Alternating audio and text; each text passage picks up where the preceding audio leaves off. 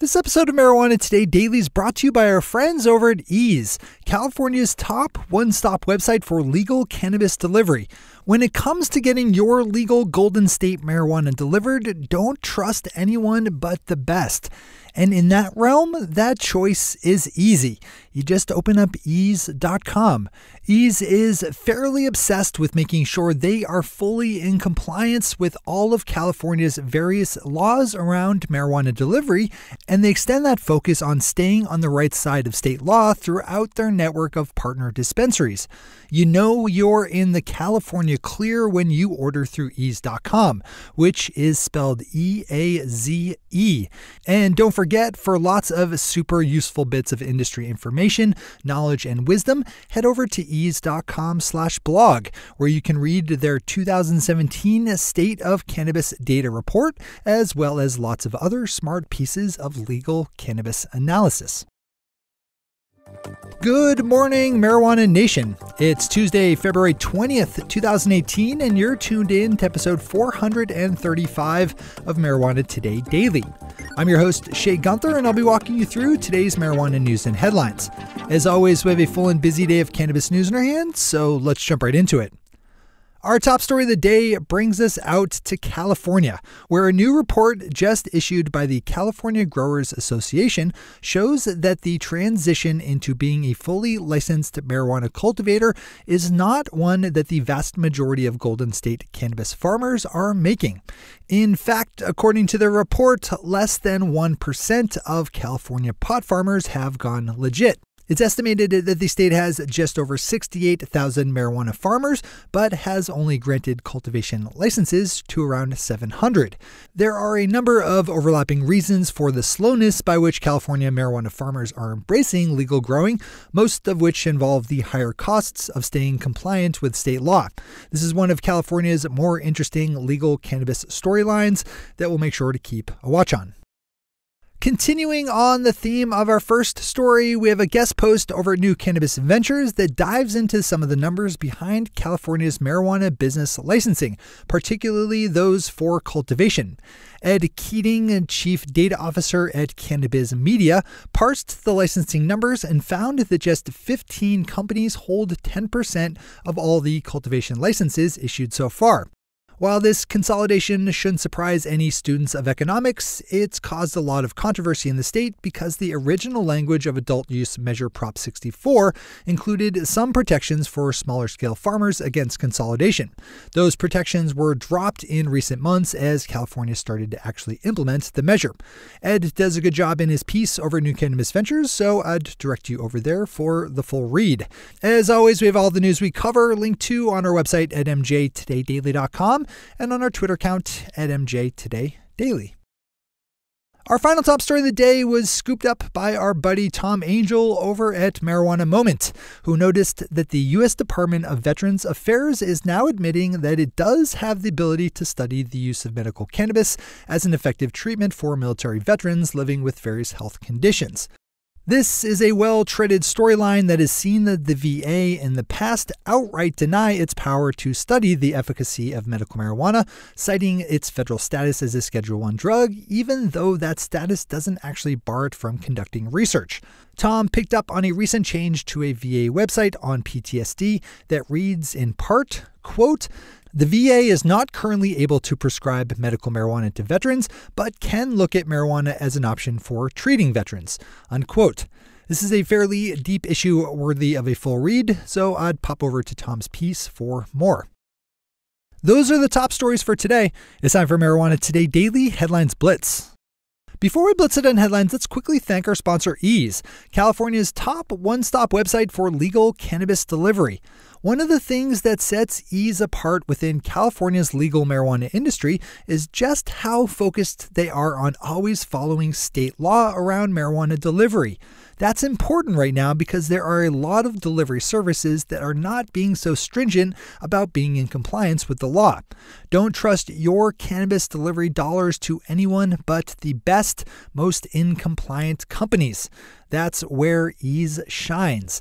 And because they're super picky about which dispensaries they choose to partner up with, you know you'll always find top quality products at great prices. Put the power of the Eaze platform to work for you over at eaze.com, which is spelled E A Z E. And if you happen to live outside the state or in a part that hasn't yet opened up delivery, you can console yourself with an informative and fruitful visit over to eaze.com/blog, where you can find all kinds of valuable insight and analysis, including their 2017 State of Cannabis Data Report. One last time, that's eaze.com/blog. All right, time for the blitz. Denver's Westword does the world a good turn by looking at the anti cannabis point of view being pushed at the Colorado Gazette, the Colorado newspaper owned by conservative billionaire Philip Anschutz, a noted prohibitionist who is not afraid to throw his money around buying influence. It's always a good thing to understand the motivations and worldviews driving the makers of your media, so I'd pop over to read this one for sure. Keeping our sights up in the Mile High State for a bit, we find the Colorado Department of Transportation taking a year off from an advertising campaign stressing the importance of not driving under the influence of cannabis to reassess their efforts, which today include a lot of outreach at events like concerts and car shows. Colorado Public Radio has an article up examining how the state's transportation officials have been trying to get their message out. Not a bad read. Colorado holds on to the headline spotlight for one more story as new data just released by the Denver Department of Public Health and Environment shows that legal marijuana cultivators are using almost 4% of the city's total electricity, which is a substantial amount. There's some good news in the data in that it appears that the industry is getting better about how much energy it takes to grow each unit of marijuana, but the overall load is on the rise. Marijuana Business Daily's chart of the week tracks two variables out of Massachusetts, showing the paired rise in the number of active medical marijuana patients and the number of open medical marijuana dispensaries. As of December of last year, those two numbers stood at 45,319 patients getting their medicine from a total of 19 dispensaries. As they always do, Marijuana Business Daily includes some handy context with the chart.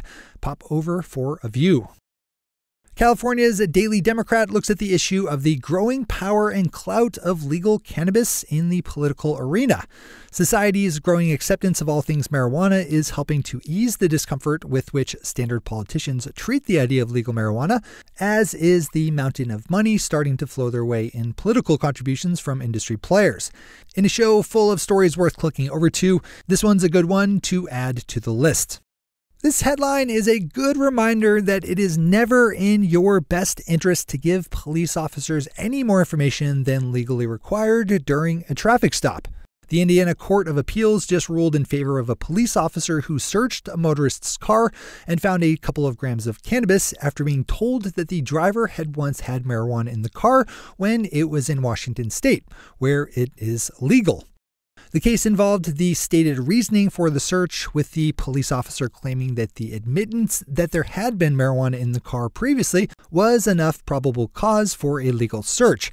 And obviously, the motorist and his lawyer took issue with that reasoning. In the decision in favor of the police officer, the Indiana State Justices noted that the driver was under no obligation to answer the police officer's questions and that his admittance was strong enough probable cause. For a bunch of great videos on how to actually speak with police during any encounter, head over to flexyourrights.org, which is an invaluable resource put together by my friend Steve Silverman. Once again, that's flexyourrights.org. Rounding out our show today is Mr. Tom Angell over at Marijuana Moment, who spotted some positive comments about medical marijuana by Michele Roberts, Executive Director of the National Basketball Players Association, or NBPA. In an interview published yesterday with SB Nation, Ms. Roberts said that she personally thought that marijuana should be removed from the NBA's list of banned substances and that her focus was on protecting her players from a quote, crazed attorney general unquote. She also said that the NBPA is having internal discussions over medical marijuana, prompted by pro medical marijuana statements made by former NBA Commissioner David Stern. This is another good one to open up for the full read. As he likes to do, Tom packed his piece with lots of good background and context. Those are the headlines and news for the day. I'll be back with you again tomorrow morning with another information packed episode of Marijuana Today Daily. But in the meantime, if you have any stories to share or feedback to give, zip us an email to headlines at mjtodaydaily.com. And while you're clicking around the interwebs, swing over to our Twitter account at mjtodaydaily and visit our website at mjtodaydaily.com to find links to all the news we cover. Thanks to our sponsor, Eaze, and to all of our awesome patron listeners for the support that makes this show possible.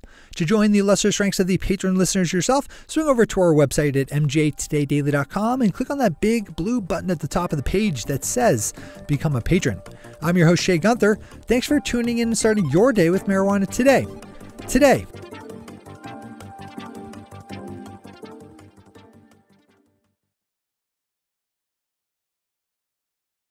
One take, Shea. One take.